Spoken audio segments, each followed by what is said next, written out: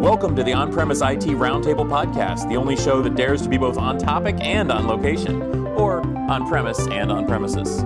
Each time we meet, we bring together IT luminaries to discuss a single concept. In this episode, we are discussing the storage array. Specifically, we're discussing the fact that the storage array is dead.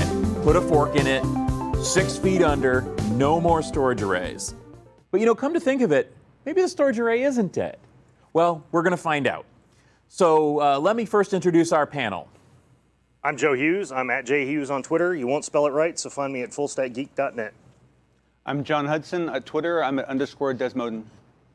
I'm Aaron Strong. My website is theaaronstrong.com and on Twitter at theaaronstrong. I'm Howard Marks.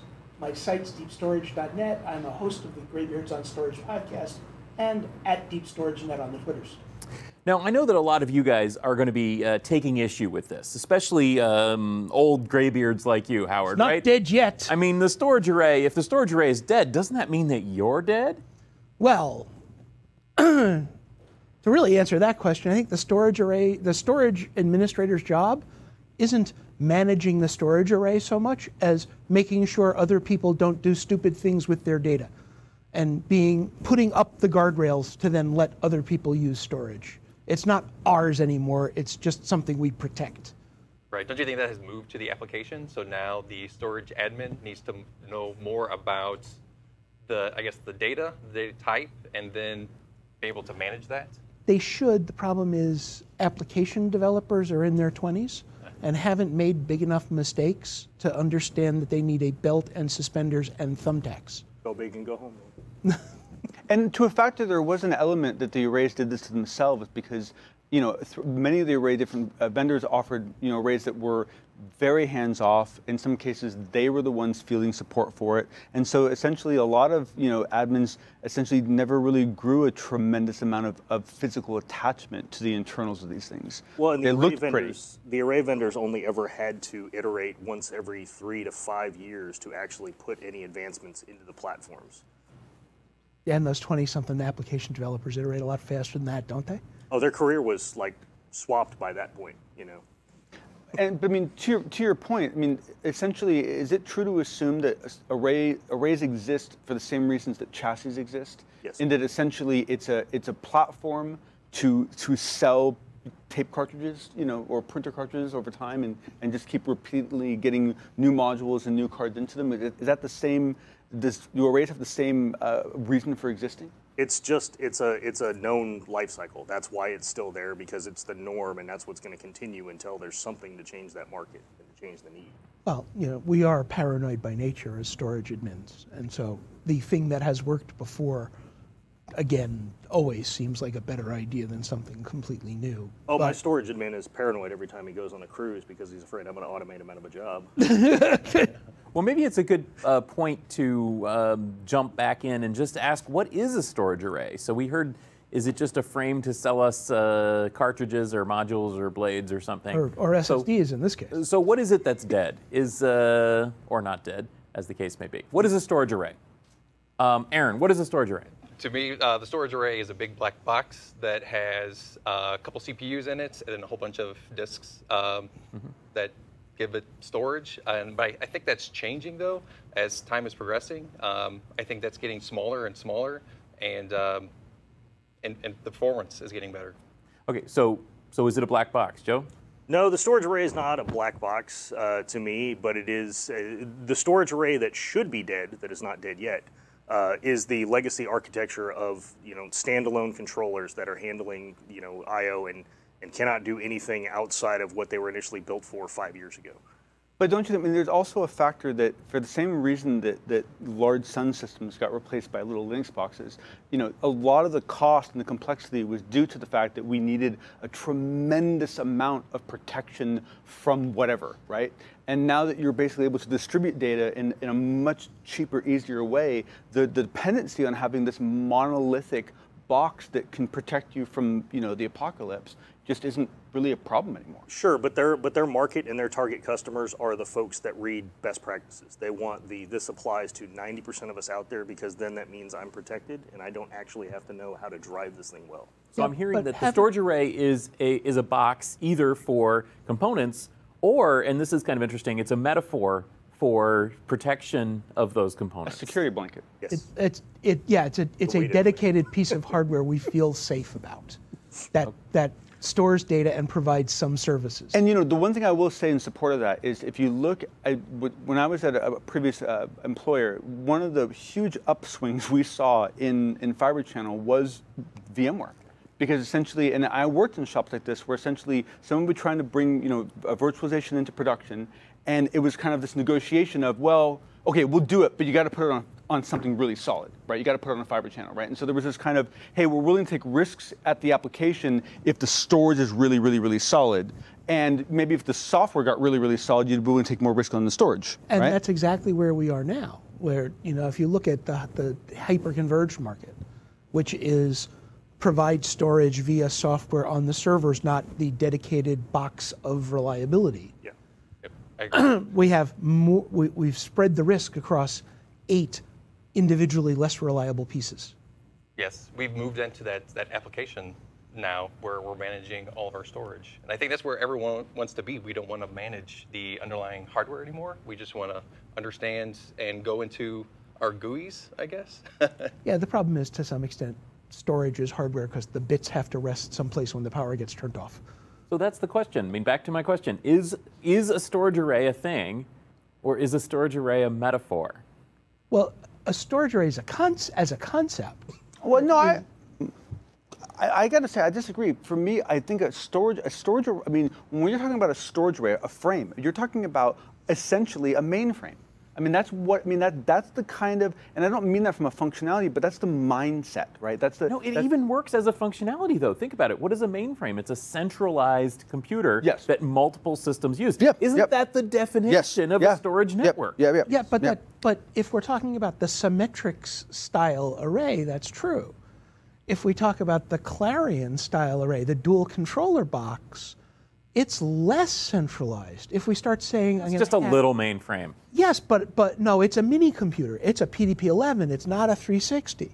But I have 10 of them instead of having one big box, and an aggregate they cost less, and the risk of one failure is less. So I'm willing to live with the reliability of each one being less. The next step is to go scale out and say, it's a server, and servers are way less re- reliable than dual controller systems. But I have so many. I have cattle. I don't have pets. Well, So, so does that mean the frames disappear and the mini computers exist, or are the mini computers more more uh, less resistant to change? They go to the distributed model, and the frame huggers stay that way. The frame huggers stay that way because the mainframes stay there. Yes. Your bank statement is coming from a mainframe in 2030. You know what? I, I VFX. One of the one of the best things I said totally by accident was someone asked me when Fiber Channel would be dead, and I said, you know, um, you know, uh, uh, uh, what's a fiber uh, mainframe uh, Fiber FICON. Channel? Fi- uh, them first, right? Yeah. I mean, because you have a you have a, a, a you know, there's a, a kind of a feeding chain in the market, right? And essentially, until that goes away, there's really no that makes total sense. There's no single best solution. It's different horses for different courses. Yes. For mainframes, s- storage that looks like a mainframe is the right thing to do. so do you think we'll get into like a hybrid at some point?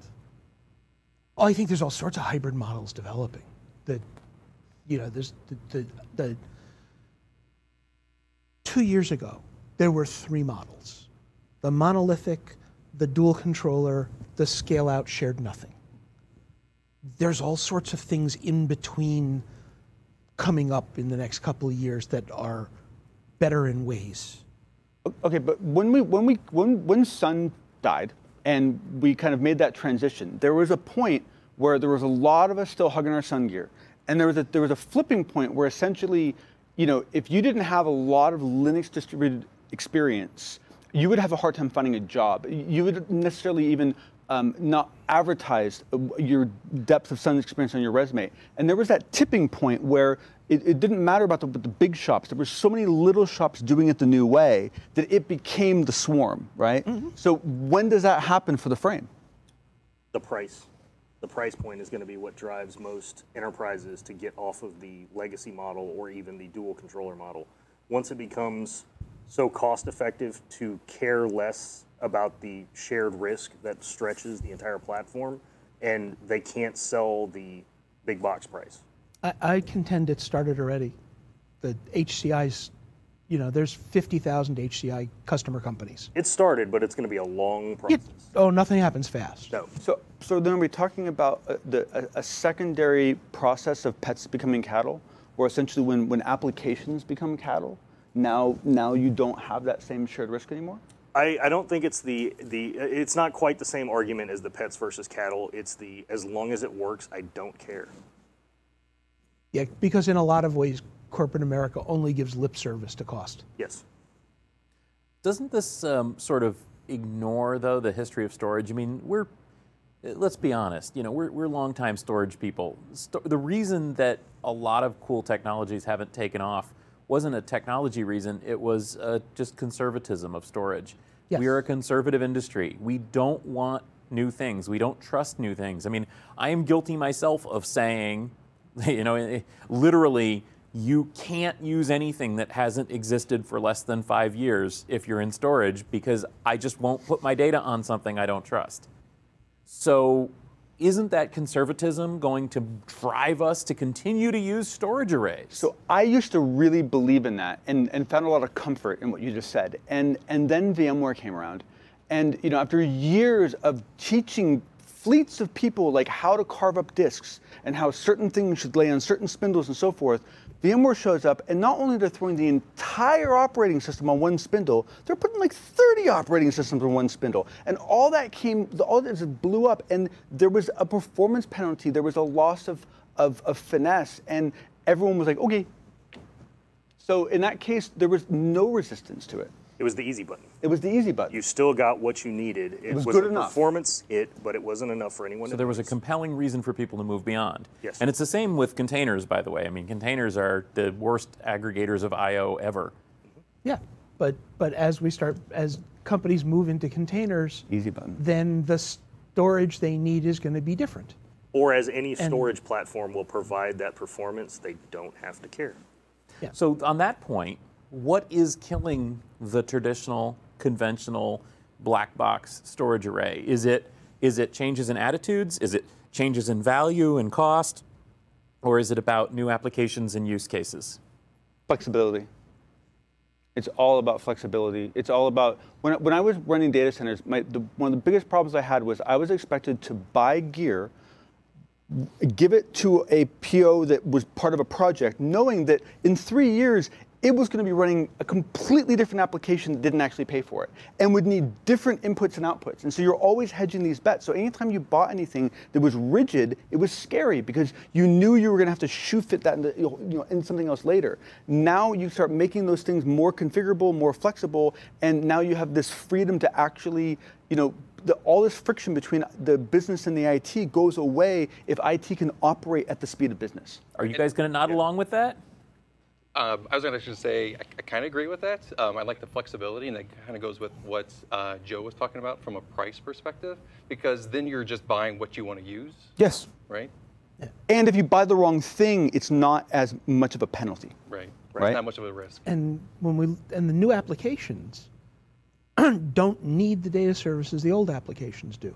If you run Hadoop or MongoDB, then you don't need really good snapshots on the underlying storage because that technology is built into that layer. It's not that those new applications are going to take over 30% of the applications in your data center. It's that once that toe got in the door and you saw that it worked in that distributed parts can fail model, Yes. then when your virtualization guys go, I want to run vSAN because I don't want to have to bother you every time I need storage, you're more willing to go, yeah, I've seen that model work before. Well, so the I mean, storage was was first with the legacy model. Then network started to change and became distributed. Then the hosts and the virtualization layer started to be more distributed. Now the applications are getting more distributed. there are people that are coming in that are writing the applications and having a, a stop in their career at a company that is shorter than the cycle it would take to refresh a storage array. Mm. As long as they get the performance that they need that's there, then then there's not necessarily the need for the storage array if they can buy something that is more agile for a platform that will that will deliver that for them hmm. as they move their container from their laptop to production. So it sure sounds like you guys are agreeing the storage array is dead, or at least dying. Dying. Die, slow death, yes. The the challenge is is that that one um, shops that are, are very very very comfortable with certain technologies have very little reason to change. So you're gonna have a lot of shops. There's still a lot of places to run mainframes, right? Are there many startups on mainframes? Probably not, right? But anyone running them loves them, right? Same with Fiber Channel and same with these frames. And so it's going to be new companies that do it differently. I think for the most part, existing companies will probably continue to buy frames for, for a long time. To, to Howard's point on the fact that you know it's going to be 2030 and we're still getting financial statements printed off of mainframes, it's it's still the legacy of no one ever got fired for buying IBM. Mm-hmm. Yeah. Still there. It's definitely dead, but it's going to take some time for it to totally be. Well, it probably won't For ever it, to, be. for it to realize it's dead. Yeah. but At some point, someone will tell the storage admin It'll always gone. be there. So does that mean that the storage industry is dead? Oh no, Absolutely storage not. industry is exciting. There's all sorts of people coming up with things you should buy because you don't want to buy a frame anymore. No, the challenge is, is that you might see certain aspects of the storage industry get carved off into, into other newer places as we start to see more converged infrastructure and more kind of merged functionality. But because storage is always going to have a, a true physics component to it, right? There is going to be some media of some sort. It, it, it, it, it, it's going to exist in a similar f- way for, for a, a significantly long time. Birds But it- gotta fly, fish gotta swim, bits gotta live somewhere. I was going to say it's it's changing a lot faster, and it's it's the fact that you know now you can actually do block versus file versus object storage versus you know multi-cloud, and it's the availability of all of these platforms out there. You know you can kind of just dip your toe in the water to do anything and, and just try it. And how many new people today are just their very first time that they're using a system? It's an instant on EC2, Yes. right? And so they've never they've never owned any. Like I've met with startups who, who they have no they have no gear, Yeah. and they've never had any gear, right? They do everything in in different cloud platforms. I would love to not have a data center. And when you're building those EC2 instances, you're not caring about the underlying architecture. And you don't know any better. You know, when you're at that level, you don't want to. Mm-hmm. There's a whole reason why you're moving into that that platform. The bill gets signed off by someone else. And then you discover EBS provisioned IOPS. And Well- boy, does your bill go up. Well, but let me say that, that one of the, the, the misconceptions is is that your day-to-day life changes when you move your stuff to a cloud. And I, I, I saw this in my brother's shop. It was the funniest thing. It was like you had your own data center, you SSH into boxes, you did stuff. And you moved into the cloud, you SSH into boxes, and you did stuff, but the boxes were virtual, right? I mean, it's like you still have to troubleshoot stuff. You still have to look at things. Like a lot of that, that, that kind of in and out of the daily care and feeding doesn't change, but you've created an abstraction layer and you've pushed, It's- you've pushed it off to someone else. Right. It's it's the whole the entirety of the landscape changing from everything that's physical being now virtualized and being uh, a layer of obfuscation to get to all of it, and it's it's now distributed everything other than the storage. And, and, that, and that requires that storage be virtualized and distributed in the exact same fashion, and frames don't play that way. All right, so the storage array is dead, right? Should be. All right. Should be. Well, there you heard it here first, folks. Um, uh, uh, amazingly enough, we've got a, a panel of uh, storage-focused experts here who all agree the storage array is dead. But hopefully you're not dead. So thank you very much for listening to the On-Premise IT Roundtable podcast from Gestalt IT. If you enjoyed this discussion, remember to subscribe, rate, and review the show in iTunes since that really helps our visibility. And please share the show with your friends. This podcast was brought to you by GestaltIT.com, your home for IT coverage from across the enterprise. For show notes and more episodes, go to GestaltIT.com slash podcast. Thanks, and we'll see you next time.